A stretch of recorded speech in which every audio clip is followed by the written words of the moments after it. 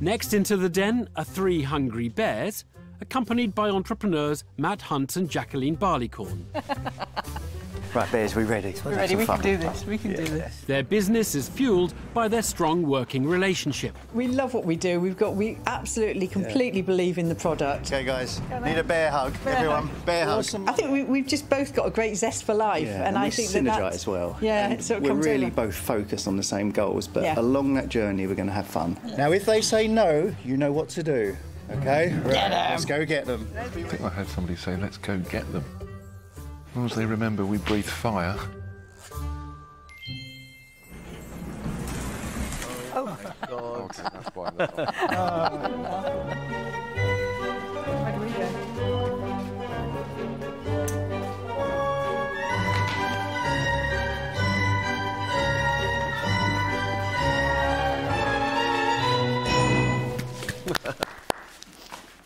Hello, Dragons. My name is Matt, and this is my business partner, Jacqueline. And we are here today to ask you for an investment of £50,000 in return for 10% of the Great British Porridge Company. Like a lot of people, I do try to eat really healthily, but I do find that when time's short, that's when I make those bad food choices. So loving the idea of an instant porridge, I was a bit disappointed to find all the ones in the shops were either really bland and boring or they were full of refined sugar. So I decided to make my own.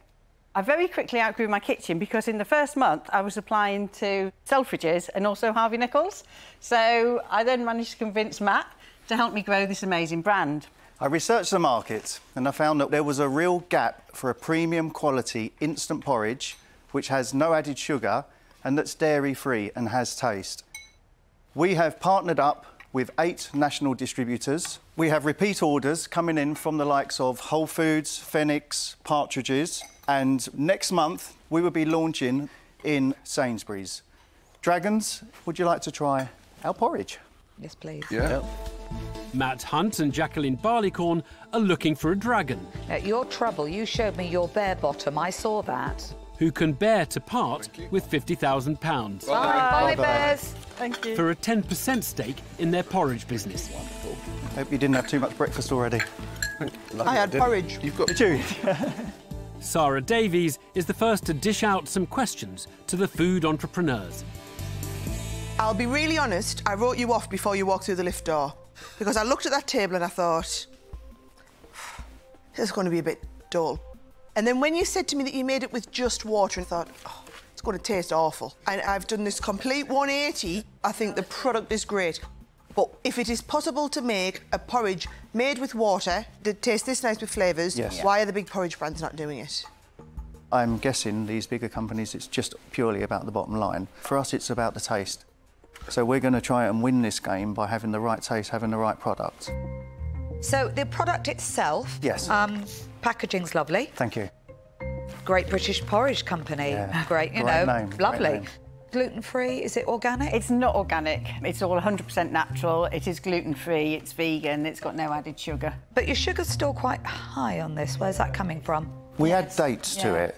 We started with cane sugar and it just didn't taste right. So um, dates are a very good substitute. It just gives it a little bit of sweetness. Okay. Are you manufacturing the product? Yes, I am, yes. We're a partnership, so my wife and I are 50% and Jacqueline's 50%. Um, we're a co-packer to Jacqueline because we own another brand as well. And what products do you do? Um, we do protein balls. What size is your business? We will turn over 5 million this year. The Dragons are clearly impressed by Matt's proven track record in the food industry.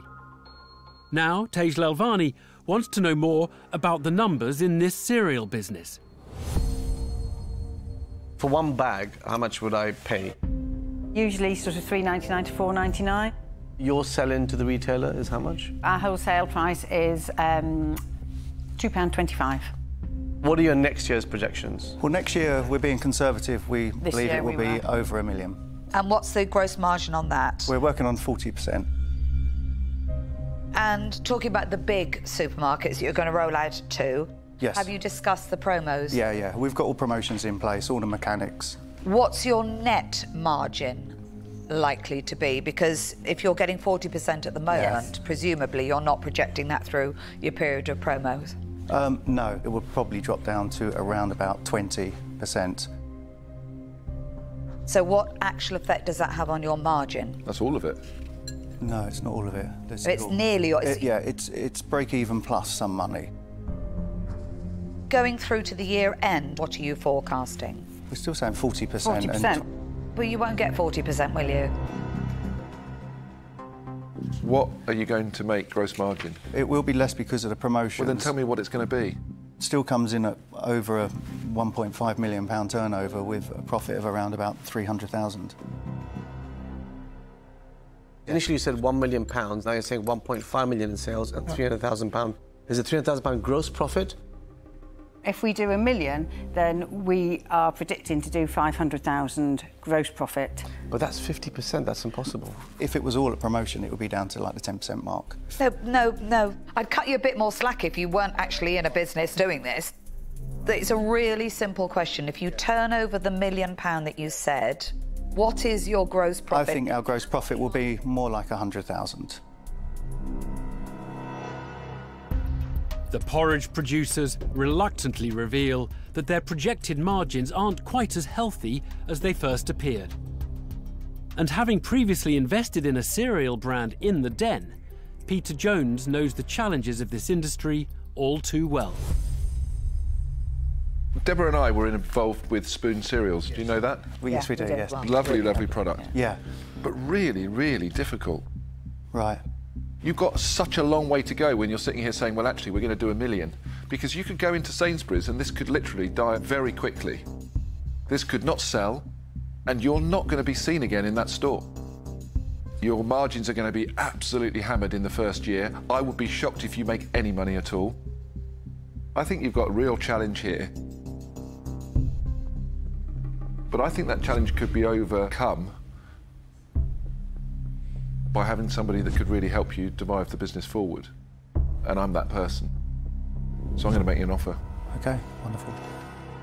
I love the product. It is the best I've tasted. Thank you, Peter.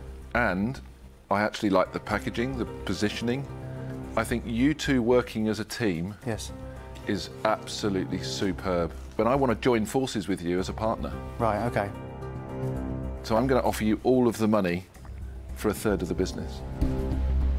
Serial investor Peter Jones wants in, asking for 33% of the business. Next up, an unusually quiet Touker Suleyman. it sounds like you've got all the contacts. And I'm trying to work out what do you want from a dragon? There's certain parts in business that I think you could open doors. We just want you to be part of it because then instead of hitting the two, four, six million like we say we're going to hit, we will double that. Okay, I'm going to make you an offer. I'll give you all of the money for 22%. Thank you, Touker. Thank you, Touker. That's you, Touker. wonderful. Guys, I didn't want to get into the food sector because it is such tiny margins and such high risk. Yeah. But I love the product. And I really love you too. I would offer you all of the money and I would do it for a 25% stake in the business. Okay. Okay.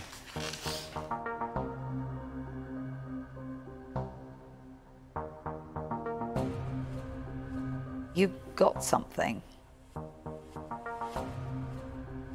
So, yes, I'm going to make you an offer, and I'm going to offer you all of the money. And I want 30% of the business. Deborah Meaden becomes the fourth dragon to tender a deal. Will Health Supremo Tej Lalvani make it a full house? The issue that you have with margins is an issue.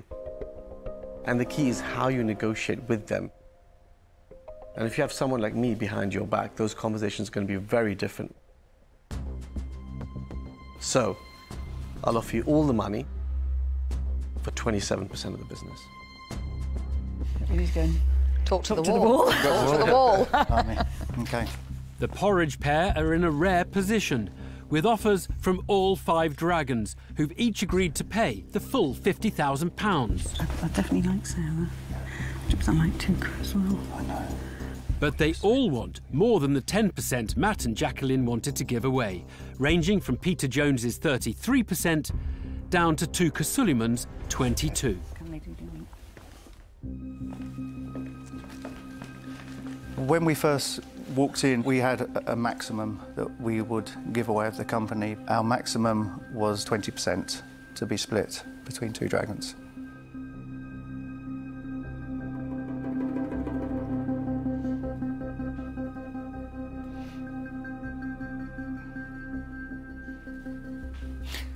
I would go for 10%.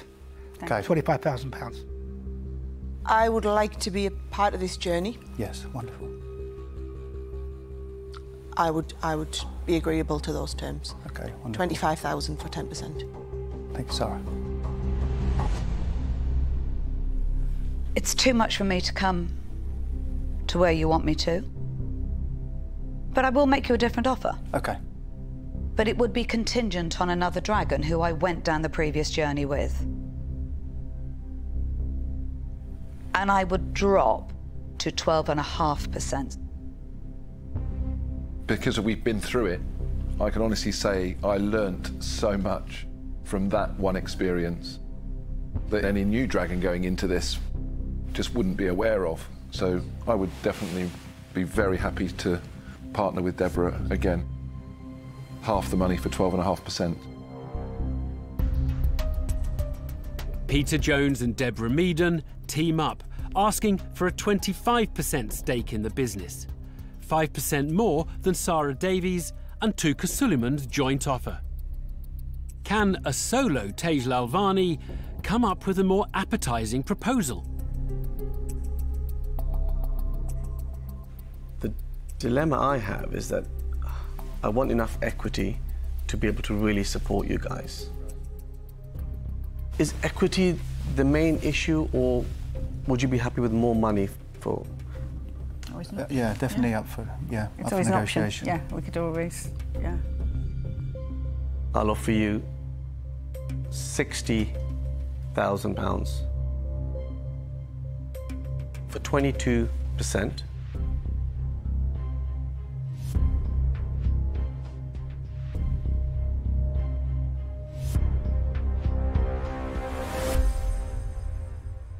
Tej, we would like to take Yes, you up on that. excellent. Well, thank you to everybody. Thank you. Great it. choice. It's going to be great ride.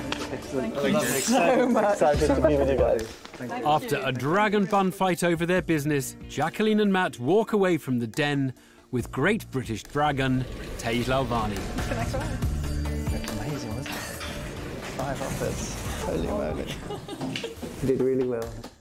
I mean, to get offers of, of all five of them was. You just, I just wanted to take all of them, you know? Even I don't mind saying it's a decent offer. It was. I'm excited and Yeah. uh, Yep. great guys to work with. And if you want any tips from Deborah and I, don't phone us. It's a surreal, it's an out of body experience. Yeah.